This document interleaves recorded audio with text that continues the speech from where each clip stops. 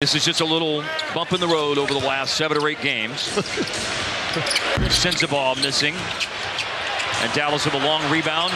And they've got George back backpedaling. And it's Kyrie with the alley finish from Luka. My, my, my.